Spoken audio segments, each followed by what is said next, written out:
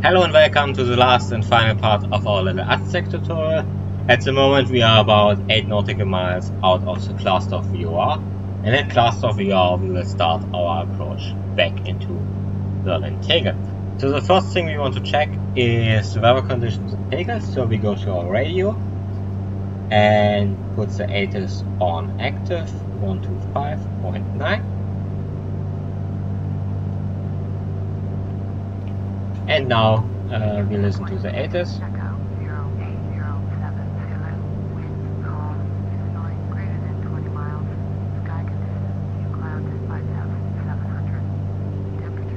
See, no winds, very nice, temperature's nice.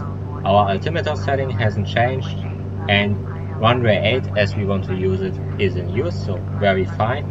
And now we put the Bremen, uh, sorry, Berlin uh, director on active, and is on 121.112. So we put this on active and Tegel Tower on standby as this would be the next frequency we need.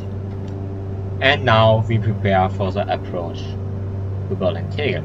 And here you see our approach. And as you see from the Klasdorf VOR we will take the 283 radial for exactly 33 nautical miles.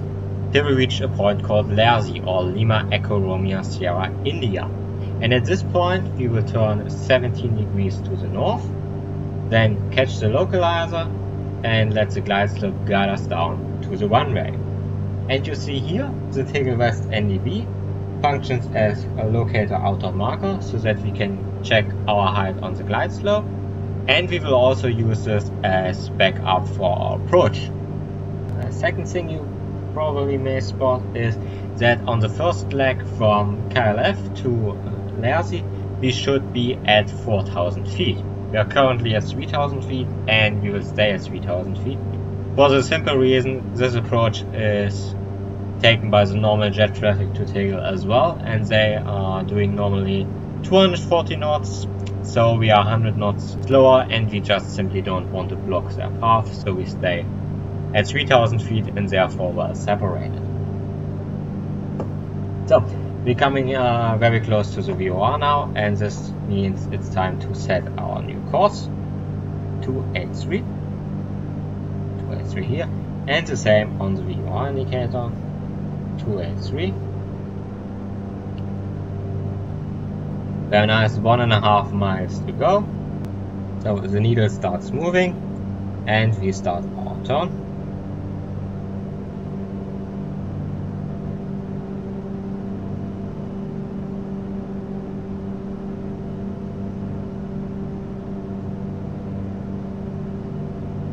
Yeah, that was probably a little bit too fast.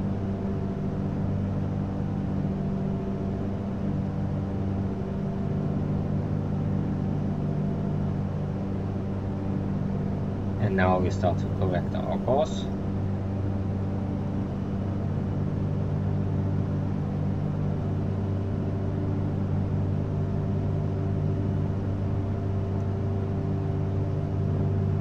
And perfect.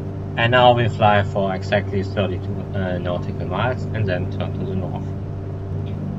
So we are about 5 nautical miles out of Lersi now and at this point we would contact ATC state our position and advise them about our intentions.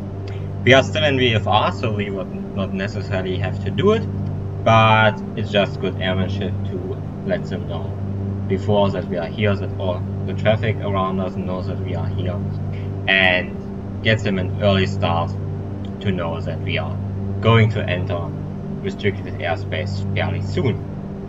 So when we reach uh, Lersi or about one nautical mile before we reach we will start our turn to 17 degrees north. And the important thing is this is 17 degrees track. And track and heading are not necessarily the same. So in layman's term, track is a line you would draw on a map and heading is the direction your nose is pointing on. And for example, if you have a crosswind pushing you around, your track and heading wouldn't be the same. We are in the lucky position that we don't have winds today, so our track and heading are the same. And we don't have to calculate our wind correction angle. But if you're interested, our compass and the HSI shows our heading. And here on the GPS, you can see our track information. So even if you have no data and can't calculate your wind correction angle, you could play with your heading until you get here on the right track display. So now we are nearly at Lersi and at this point we will start our turn. So we go direct north or 17 degrees to the north. That was a bit too fast. So, 70 degrees now. We take a good look at our engine instruments. Everything's looking nice here, so our instruments looking nice as well.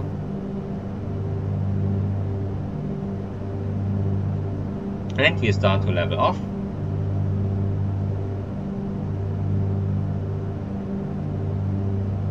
And now we go to our GPS and the radio stack and set the radios ready for approach. So the first thing is we don't need the VOR information anymore. So we uh, push the button and now that's the ILS uh, frequency on our nav radios.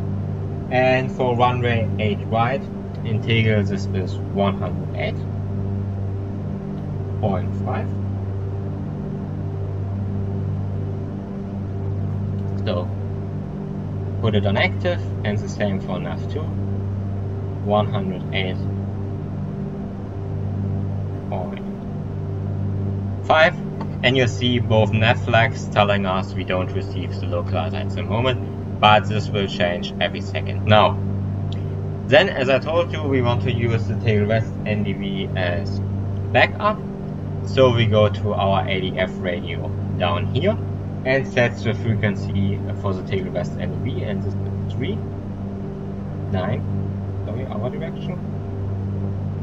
2 and now you see as neither needle has moved and is pointing directly to the west NDB on our ADF we set our current course 17 degrees. And now this needle will start moving this way. And when it's on 79 degrees so runway heading we know we are aligned with runway. And short before this needle reaches our 79 degree we know we would have to start our turn and when we are directly over the NDB this needle will move 180 degrees so we know we are over the NDB and we can verify our height above the glide slope and this should be about 1600 feet at this moment. And now you see the nav from our HSI and the VOR indicator disappeared. So we set uh, here also runway heading 79 degree.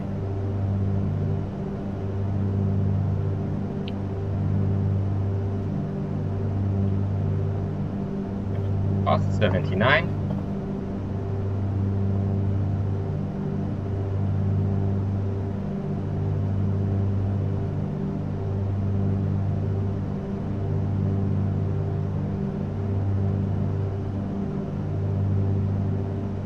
79 as well.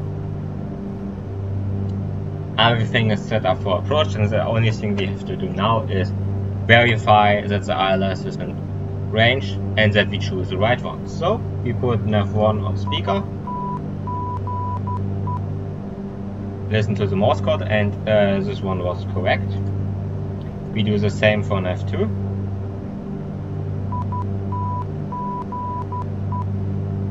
Yeah, Morse code is correct again. And we do the same for our ADF's uh, automatic direction finder.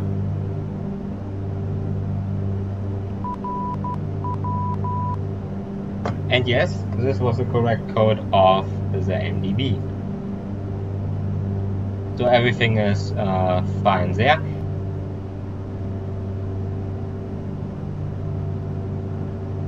So as you can see from our GPS and the ADF needle nearly pointing at one-way heading is that we have to do our turn on final fairly soon. So we put the heading select out of the autopilot so that we have manual control. Then we uh, take a short look at our engine instruments. Everything's looking fine here. All our, our instruments looking fine here and you see the localizers coming in. So we turn on to final.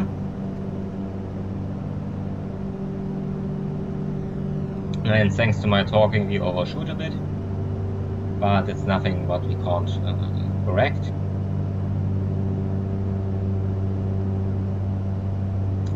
The airport comes into view.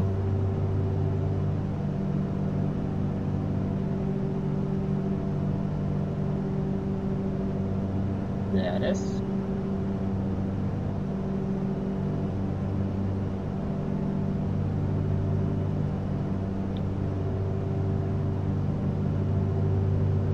and there we are on final. Very nice. And the goal is for approach just to keep both lines in the center. So now we put our mixture lever on fully rich, our prop lever fully forward, and we pull back on the power a bit so that we start to reduce our speed. We are slightly off to the right, so we make gently corrections and we use our visual reference as well. Because these instruments are very, very sensitive and by if you chase them too hard, we probably have an unstable approach. And when we see the airport as we do, we can use visual reference as well. Now you see the glide slopes coming in, so we put the autopilot off completely. And gently start our descent. To be on the glide slope, our descent rate should be something between uh, around 700 feet per minute. And we will pull back on the power again, slightly bit, and put the electric fuel pumps on, so that if our normal fuel pumps fail, they take over immediately, and we switch to Tegel Tower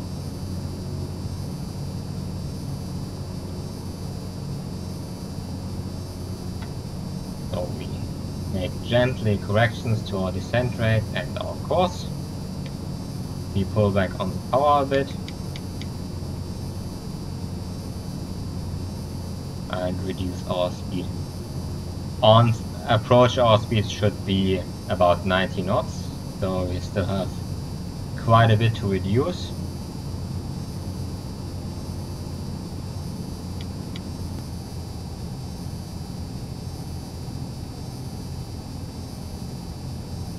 we are too low.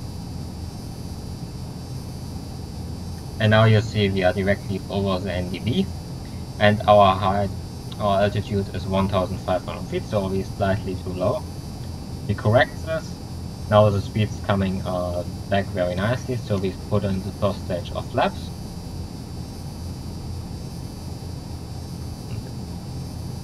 Adjust the power still a little bit. That's looking very nice. Directly on course, directly on the glide slope. Second stage of flap. And below the landing gear.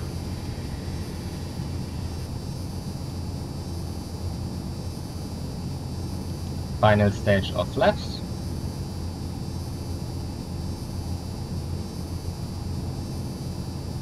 adjust our descent rate.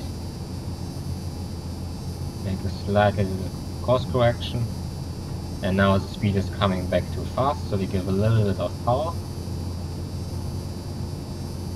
a bit more and keeps the aircraft nice and stable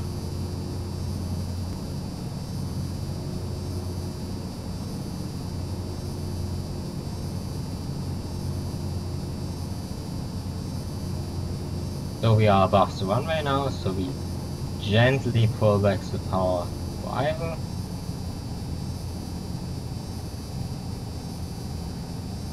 And you start to flare the aircraft. And gently put it on the ground. Main wheel first, then nose wheel, and we start to brake. Use the rudder to keep it on the center line. and we can retract the flaps again and put this annoying fuel pumps off.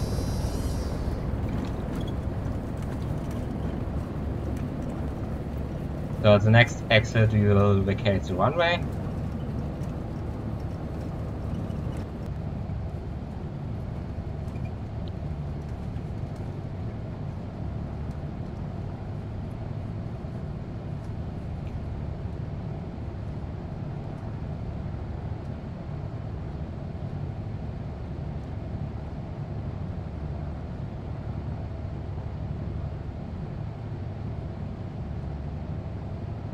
and we will stop here. So now we put the taxi lights on, landing lights off. We go to our radio, put Tegel ground onto active, so 12175. Put it on active, gets the taxi clearance, and now taxi back to our parking position.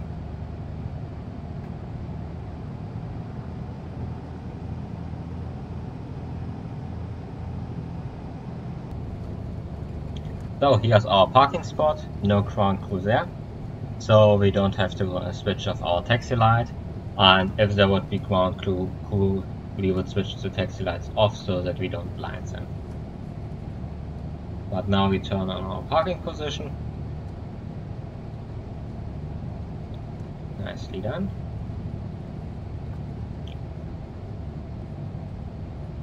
And brake. That's a parking brake. And welcome in Berlin. So now, uh, last thing to do is shut down the aircraft. So we switch the lights off. Pitot heat off. Taxi light off. We switch the transponder off, our distance measurement unit. And then we put lever on cut off and we switch the magnetos off. We do the same for the second engine. Cut off, magnetos off. We check that the autopilot is off. We switch our avionics off. Then our anti-collision light. Last, the navigation light. And last but not least, the battery master. Then we can open the door get to the outside, press shift and 3 uh, and secure the aircraft. So that's it. That was our little training flight. Thank you very much for joining me. And if you have questions, as always, just write it in the comments below and I try to answer them as fastly and correctly as possible. And thank you a lot for watching and see you at the next time. Bye bye.